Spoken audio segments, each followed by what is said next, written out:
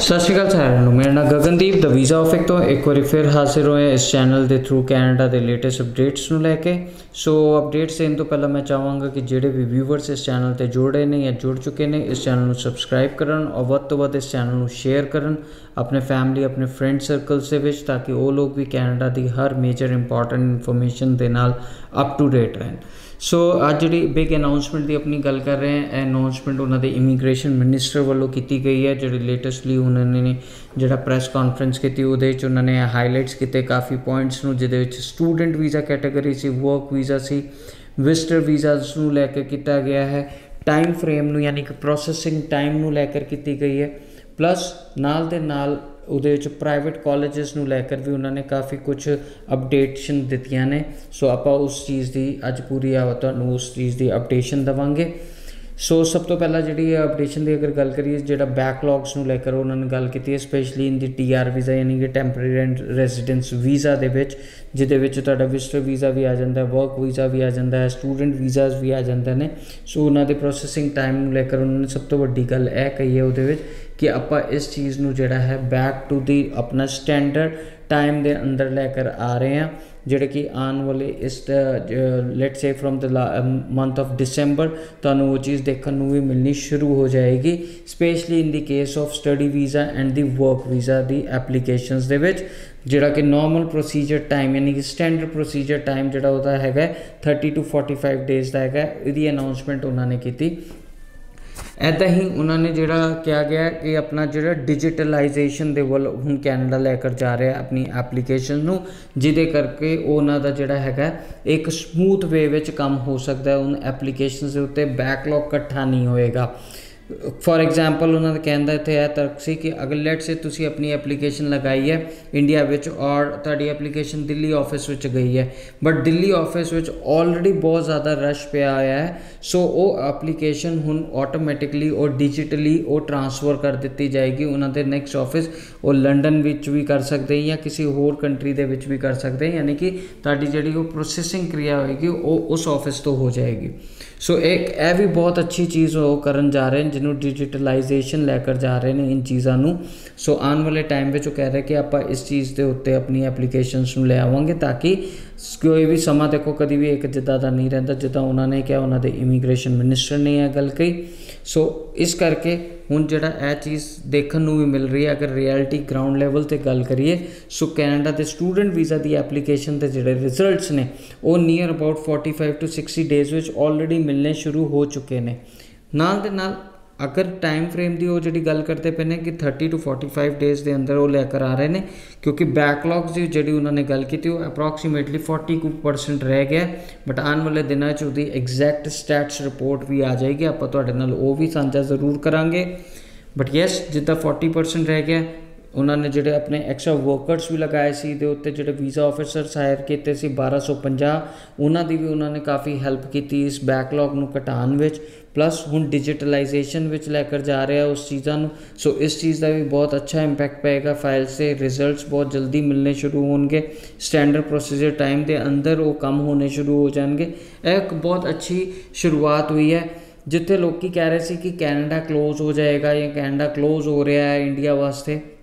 ਸੋ ਉਹਦੇ ਉੱਤੇ ਵੀ ਉਹਨਾਂ ਨੇ ਕਲੈਰਿਟੀ ਦਿੱਤੀ ਕਿ ਆਪਾਂ ਨਾ ਤੇ ਕਦੀ ਇਹ ਚੀਜ਼ ਸੋਚੀ ਹੈ, ਨਾ ਹੀ ਕਦੀ ਸੋਚੀ ਨਹੀਂ ਹੈ, ਕਿਉਂਕਿ ਜਿਹੜਾ ਕੈਨੇਡਾ ਦੀ ਜਿਹੜੀ ਇਕਨੋਮੀ ਹੈ, ਉਹ ਨੀਅਰ ਅਬਾਊਟ 23 ਬਿਲੀਅਨ ਡਾਲਰਸ ਦੀ ਜਿਹੜੀ ਹੈਗੀ ਉਹ ਇੰਟਰਨੈਸ਼ਨਲ ਸਟੂਡੈਂਟ ਤੋਂ ਹੀ ਪੂਰੀ ਜਨਰੇਟ ਹੁੰਦੀ ਹੈ। ਪੂਰੇ ਸਾਲ ਦੀ ਉਹਨਾਂ ਦੀ ਇਕਨੋਮੀ ਇਸ ਚੀਜ਼ ਦੇ ਵਿੱਚ ਉਹ ਸਭ ਤੋਂ ਜ਼ਿਆਦਾ ਵੱਡਾ ਹੱਥ ਹੈ ਇੰਟਰਨੈਸ਼ਨਲ ਸਟੂਡੈਂਟਸ ਦਾ। ਆਪਾਂ ਉਸ ਚੀਜ਼ ਨੂੰ ਜਿਹੜਾ ਹੈ ਬੰਦ ਨਾ ਤੇ ਕਰਨ ਦਾ ਸੋਚਿਆ ਹੈ ਨਹੀਂ ਸੋਚਣਾ ਹੈ। ਇਹ ਉਹਨਾਂ ਨੇ ਬਿਲਕੁਲ ਕਲੀਅਰਲੀ ਇਹ ਗੱਲ ਕਹੀ ਹੈ, ਤੇ ਇਸ ਕਰਕੇ ਸਾਨੂੰ ਇਸ ਗੱਲਾਂ ਵਿੱਚ ਕਿਸੇ ਦੇ ਆਉਣ ਦੀ ਲੋੜ ਨਹੀਂ ਹੈਗੀ। ਦੂਸਰੀ ਚੀਜ਼ ਦੇ ਉੱਤੇ ਜਿਹੜਾ ਉਹਨਾਂ ਨੇ ਗੱਲ ਕੀਤੀ, ਉਹ ਗੱਲ ਕੀਤੀ ਰਿਫਿਊਜ਼ਲ ਰੇਟ ਕਿਉਂ ਜ਼ਿਆਦਾ ਹਾਈ ਜਾ ਰਿਹਾ ਸੀ ਕੈਨੇਡਾ ਦਾ, ਔਰ ਉਹਦੇ ਉੱਤੇ ਉਹਨੇ ਕਿੱਦਾਂ ਕੰਮ ਵੀ ਕੀਤਾ। ਸੋ ਰਿਫਿਊਜ਼ਲ ਰੇਟ ਜਿਹੜਾ ਹਾਈ ਜਾਣ ਦਾ ਕਾਰਨ ਸੀ, ਉਹ ਜਿਹੜਾ ਬੱਚੇ ਦਾ ਪਰਪਸ ਆਫ ਉੱਥੇ ਸਟੱਡੀ ਦਾ ਜਿਹੜਾ ਕੰਸਰਨ ਆ ਰਿਹਾ ਸੀ ਨਿਕਲ ਕੇ, ਕਿ ਯਾਨੀ ਕਿ ਜਿਹੜੇ ਤੁਹਾਡੇ ਪਰਪਸ ਆਫ ਵਿਜ਼ਿਟ ਹੈ, ਇਸ ਔਰ ਜਿਹੜੀ ਪਰਪਸ ਆਫ ਸਟੱਡੀ ਹੈ ਇਸ ਇਨਕਨਸਿਸਟੈਂਟ ਜਿਹੜਾ ਲਿਖਿਆ ਹੋਇਆ ਆ ਜਾਂਦਾ ਸੀ ਇੱਕ ਰਿਫਿਊਜ਼ਲ ਲੈਟਰ ਤੇ ਆਮ ਤੌਰ ਤੇ। ਸੋ ਉਹਦਾ ਵੀ ਉਹਨਾਂ ਨੇ ਰੀਜ਼ਨ ਆਪਣੇ ਵੱਲੋਂ ਕਲੀਅਰ ਕੀਤਾ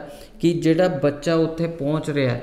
ਉਹਦੀ ਜਿਹੜੀ ਐਕਸਪੈਕਟੇਸ਼ਨ ਸੀ, ਉਹ ਇੱਕ ਸਟੂਡੈਂਟ ਵੀਜ਼ਾ ਵਾਲੀ ਲਾਈਫ ਦੀ ਐਕਸਪੈਕਟੇਸ਼ਨ ਨਹੀਂ ਸੀ ਕੈਨੇਡਾ ਵਿੱਚ ਆ ਕੇ, ਉਹ ਇੱਕ ਲਗਜ਼ਰੀਅਸ ਲਾਈਫ ਦੀ ਐਕਸਪੈਕਟੇਸ਼ਨ ਲੈ ਕੇ ਆਇਆ ਸੀ, ਜਿਹੜਾ ਕਿ ਉਹਨੂੰ ਮਿਸਗਾਈਡ ਕਰਕੇ ਭੇਜਿਆ ਜਾਂਦਾ ਹੈ ਕੰਸਲਟੈਂਟਸ ਔਰ ਏਜੰਟਸ ਵੱਲੋਂ। ਸੋ ਉਸ ਤੋਂ, ਉਸ ਚੀਜ਼ ਦੇ ਉੱਤੇ ਉਹਨਾਂ ਨੇ ਲਗਾਮ ਕੱਸੀ ਔਰ ਕਾਫੀ ਜ਼ਿਆਦਾ ਐਪਲੀਕੇਸ਼ਨਸ ਜਿਹੜੀਆਂ ਰਿਫਿਊਜ਼ ਹੋਈ, ਕਿਉਂਕਿ ਉਹਦੇ ਵਿੱਚ ਬੱਚਿਆਂ ਦਾ ਇੰਟੈਂਸ਼ਨਸ ਨਹੀਂ ਕਲੀਅਰ ਸੀ ਬਿਲਕੁਲ ਵੀ ਕੈਨੇਡਾ, ਕਿ ਕਿਉਂ ਕੈਨੇਡਾ ਆ ਰਿਹਾ। ਫਿਰ ਉਸ ਤੋਂ ਬਾਅਦ ਜਿਹੜੇ ਬੱਚੇ ਆਲਰੇਡੀ ਉੱਥੇ ਪਹੁੰਚੇ ਹੋਏ ਸੀ ਉਹਨਾਂ ਨੇ ਆਪਣੀ ਸਟੱਡੀਜ਼ ਨੂੰ ਛੱਡ ਕੇ ਜਿਹੜੀ ਉੱਥੇ ਸਟੱਡੀ ਛੱਡਤੀ ਔਰ ਆਪਣਾ ਕੰਮਾਂ 'ਚ ਹੀ ਲੱਗੇ ਰਹੇ। ਸੋ ਉਹ ਕਾਫੀ ਕੇਸਿਸ ਕੈਨੇਡਾ ਦੇ ਸਾਹਮਣੇ ਨਿਕਲ ਗਏ ਸੋ ਉਹਦੀ ਉਹਨਾਂ ਨੇ ਪੂਰੀ ਇੱਕ ਪ੍ਰੋਪਰ ਰਿਪੋਰਟਿੰਗ ਦੇਖੀ, ਉਹਦੀ ਪੂਰਾ ਇੱਕ ਸਟੈਟਸ ਚੈੱਕ ਕੀਤੇ ਗਏ, ਤਾਂ ਜਾ ਕੇ ਉਹਨਾਂ ਨੇ ਇਹ ਡਿਸੀਜਨ ਲਿੱਤਾ। ਸੋ ਉਸ ਤੌਰ ਦੇ ਉੱਤੇ ਕਾਫੀ ਫਾਈਲਸ ਪਿੱਛੇ ਰਿਜੈਕਟਸ ਵੀ ਹੋਈਆਂ ਕੈਨੇਡਾ ਵੱਲੋਂ। ਹੁਣ ਇਸੀ ਚੀਜ਼ ਨੂੰ ਹੋਰ ਸੌਰਟ ਆਊਟ ਕਰਨ ਵਾਸਤੇ ਉਹਨੇ ਜਿਹੜਾ ਹੈ ਇੰਟਰਵਿਊ ਦਾ ਇਨੀਸ਼ੀਏਸ਼ਨਸ ਵਿੱਚ ਲੈ ਕਰ ਆਏ। ਇੰਟਰਵਿਊ ਜ਼ਰੂਰ ਆਏ ਬੱਚਿਆਂ ਦੇ। ਲੇਕਿਨ ਹਾਲ ਦੀ ਘੜੀ ਵਿੱਚ ਇੰਟਰਵਿਊਜ਼ ਹਾਲੀ ਇਵੈਂਟਸ ਸਕੇਜੂਲਸ ਨਹੀਂ ਹੋਏ ਹਨ ਕਾਫੀ ਬੱਚਿਆਂ ਦੇ। ਜਿਨ੍ਹਾਂ ਬੱਚਿਆਂ ਦੇ ਹੋਏ ਸੀ, ਉਹਦੇ ਵਿੱਚ ਕੁਝ ਬੱਚਿਆਂ ਨੇ ਇੰਟਰਵਿਊ ਦੇ ਵੀ ਆਏ ਨੇ, ਹਾਲੀ ਕਿਸੇ ਦਾ, ਕਿਸੇ ਬੱਚਿਆਂ ਦੇ ਹੋਣੇ ਵੀ ਨੇ। ਸੋ ਹਾਲੀ ਉਸ ਚੀਜ਼ ਦੇ ਉੱਤੇ ਵੀ ਉਹ ਪ੍ਰੋਪਰਲੀ ਨਹੀਂ ਲੈ ਕਰ ਆਏ, ਯਾਨੀ ਕਿ ਉਹ ਪ੍ਰੋਪਰਲੀ ਇਸ ਚੈਨਲ ਨੂੰ ਨਹੀਂ ਬਣਾ ਪਾ ਰਹੇ। ਬਟ ਯੈਸ ਅਗਰ ਇੰਟਰਵਿਊਜ਼ ਜਿਹੜਾ ਬੱਚਿਆਂ ਦੇ ਉਹਨਾਂ ਨੇ ਲਿੱਤੇ ਨੇ, ਅਗਰ ਉਹਨਾਂ ਤੋਂ ਉਹਨਾਂ ਦੀ ਇੰਟੈਂਸ਼ਨਸ ਕਲੀਅਰ ਹੋ ਜਾਂਦੀ ਹੈ, ਤਾਂ ਹੋ ਸਕਦਾ ਆਉਣ ਵਾਲੇ ਸਮਾਂ ਵਿੱਚ ਇੰਟਰਵਿਊ ਵਾਲਾ ਪੰਗਾ ਵੀ ਖਤਮ ਹੋ ਜਾਏ ਕੈਨੇਡਾ ਤੋਂ।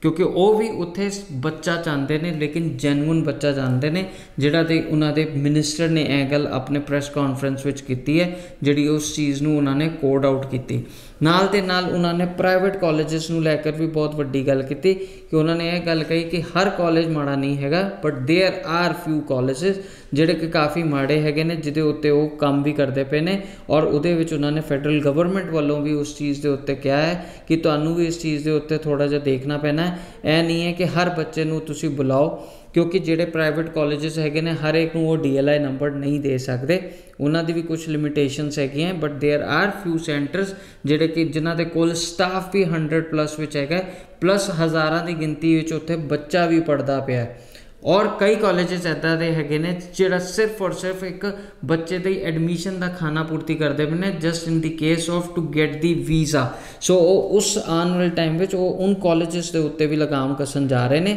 ਸੋ ਇੱਕ ਬਹੁਤ ਅੱਛਾ ਵੱਡਾ ਸਟੈਪ ਕੈਨੇਡਾ ਗਵਰਨਮੈਂਟ ਕੈਨੇਡਾ ਦੇ ਇਮੀਗ੍ਰੇਸ਼ਨ ਮਿਨਿਸਟਰ ਜਿਹੜੇ ਹੈਗੇ ਨੇ, ਉਹ ਲੈਣ ਜਾ ਰਹੇ ਨੇ। ਇੱਕ ਤੇ ਡਿਜੀਟਲਾਈਜੇਸ਼ਨ ਨੂੰ ਲੈ ਕੇ ਜਿਹੜੇ ਪ੍ਰਾਈਵੇਟ ਕਾਲਜਸ ਦੀ ਉਹ ਗੱਲ ਕਰ ਰਹੇ ਨੇ, ਉਸ ਚੀਜ਼ ਦੇ ਉੱਤੇ ਲੈ ਕੇ ਨਾਲ ਦੇ ਨਾਲ ਤੁਹਾਡੇ ਪ੍ਰੋਸੈਸਿੰਗ ਟਾਈਮ ਨੂੰ ਲੈ ਕੇ। ਸੋ ਅਗਰ ਇਹ ਸਾਰੀ ਚੀਜ਼ਾਂ ਨੂੰ ਦੇਖਿਆ ਜਾਏ ਸੋ ਕੈਨੇਡਾ ਵੀ ਚਾਹੁੰਦਾ ਹੈ ਕਿ ਉਹਦੇ ਵੱਲ ਬੱਚੇ ਆਣ ਔਰ ਜੈਨੂਇਨ ਬੱਚਾ ਹੈ ਔਰ ਉੱਥੇ ਆ ਕੇ ਆਪਣਾ ਸਟੱਡੀ ਕਰਕੇ ਇੱਕ ਅੱਛਾ ਭਵਿੱਖ ਬਣਾ ਸਕੇ। ਸੋ ਇੱਥੇ ਮੈਂ ਸਾਰਿਆਂ ਨੂੰ ਇਹੀਓ ਗੱਲ ਕਹਿਣਾ ਚਾਹਾਂਗਾ ਕਿ ਤੁਹਾਨੂੰ ਕਿਸੇ ਦੀ ਗੱਲਾਂ ਵਿੱਚ ਆਉਣ ਦੀ ਲੋੜ ਨਹੀਂ ਹੈਗੀ। ਸਾਰੀ ਇਨਫੋਰਮੇਸ਼ਨ ਜਿਹੜੀ ਹੈ ਕੈਨੇਡਾ ਦੀ ਅਫੀਸ਼ੀਅਲ ਵੈਬਸਾਈਟ ਤੇ ਵੀ ਗਿਵਨ ਹੈ। ਤੁਸੀਂ ਉਹਨੂੰ ਵੀ ਪੜ੍ਹ ਕੇ ਅਗਰ ਫਿਰ ਵੀ ਤੁਸੀਂ ਕਿਤੇ ਨਾ ਕਿਸੇ ਆਪਣੀ ਪ੍ਰੋਫਾਈਲ ਨੂੰ ਲੈ ਕੇ ਲੈਕ ਕਰਦੇ ਹੋ, ਕਿਸੇ ਨੌਲੇਜ ਨੂੰ ਲੈ ਕੇ ਲੈਕ ਕਰਦੇ ਹੋ, ਤੇ ਤੁਸੀਂ ਕੰਟੈਕਟ ਕਰ ਸਕਦੇ ਹੋ। ਬੇਸ਼ੱਕ ਫਾਈਲ ਤੁਸੀਂ ਕਿਸੇ ਮਰਜ਼ੀ ਏਜੰਟ ਤੋਂ ਲਗਵਾ ਸਕਦੇ ਹੋ, ਜਿੱਥੇ ਵੀ ਤੁਹਾਡਾ ਉਹਨਾਂ ਦੇ ਨਾਲ ਵਿਸ਼ਵਾਸ ਬੰਦਾ ਤੁਸੀਂ ਉਸ ਏਜੰਟ ਤੋਂ ਆਪਣੀ ਫਾਈਲ ਨੂੰ ਪ੍ਰੋਸੈਸ ਕਰਾ ਸਕਦੇ ਹੋ। ਬਟ ਸਟਿਲ ਅਗਰ ਤੁਸੀਂ ਵੀਜ਼ਾ ਆਫਿਕ ਤੋਂ ਕੋਈ ਵੀ ਸਰਵਿਸਿਜ਼ ਲੈਣਾ ਚਾਹੁੰਦੇ ਹੋ, ਆਪਣੀ ਪ੍ਰੋਫਾਈਲ ਦੀ ਅਸੈਸਮੈਂਟ ਨੂੰ ਲੈ ਕੇ ਜਾਂ ਜੋ ਵੀ ਤੁਹਾਡੀ ਕੁਐਰੀਜ਼ ਨੇ, ਕੋ ਜੋ ਵੀ ਤੁਹਾਡੇ ਸਵਾਲ ਨੇ ਉਹਨਾਂ ਦੇ ਜੋ ਵੀ ਤੁਸੀਂ ਸੋਲੂਸ਼ਨ ਲੱਭਦੇ ਪਏ ਹੋ, ਤੁਸੀਂ ਸਾਨੂੰ ਕੰਟੈਕਟ ਕਰ ਸਕਦੇ ਹੋ ਸਾਡੇ ਦਿੱਤੇ ਨੰਬਰ ਤੇ, ਜਿਹੜਾ ਕਿ 90410 90410 ਹੈ। ਔਰ ਜਾਂ ਫਿਰ ਤੁਸੀਂ ਮੇਰੇ ਕਿਸੇ ਵੀ ਨੀਅਰੈਸਟ ਬ੍ਰਾਂਚਸ ਵਿੱਚ ਵੀ ਵਿਜ਼ਿਟ ਕਰ ਸਕਦੇ ਹੋ, ਜਿਹੜੀ ਕਿ ਅੰਮ੍ਰਿਤਸਰ, ਜਲੰਧਰ ਔਰ ਲੁਧਿਆਣਾ ਦੇ ਵਿੱਚ ਹੈ। ਜਾਣ ਦੇ ਲਈ ਮੈਂ ਤੁਹਾਨੂੰ ਇੱਥੇ ਇਹ ਸਟੇਟਮੈਂਟ ਜ਼ਰੂਰ ਦੇਣਾ ਚਾਹਾਂਗਾ ਕਿ ਕੈਨੇਡਾ ਆਪਣੀ ਇੰਟੈਂਸ਼ਨ ਬਿਲਕੁਲ ਕਲੀਅਰ ਕਰ ਚੁੱਕਿਆ ਹੈ, ਯਾਨੀ ਕਿ ਆਉਣ ਵਾਲਾ ਟਾਈਮ ਹੁਣ ਕੈਨੇਡਾ ਦਾ ਹੈ ਔਰ ਤੁਹਾਨੂੰ ਵੀ ਬਹੁਤ ਸਾਰੇ ਵੀਜ਼ਾਸ ਦੇਖਣ ਨੂੰ ਮਿਲਣਗੇ ਮਾਰਕੀਟ ਵਿੱਚ। ਸੋ ਅੱਜ ਵਾਸਤੇ ਇੰਨਾ ਹੀ ਬਨੇ ਰਹੋ ਇਸ ਚੈਨਲ ਤੇ, ਤੁਹਾਡੇ ਨਾਲ ਫਿਰ ਹਾਜ਼ਰ ਹੋਵਾਂਗੇ। ਕੈਨੇਡਾ ਦੇ ਲੇਟੈਸਟ ਅਪਡੇਟਸ ਨੂੰ ਲੈ ਕੇ till the time thank you so much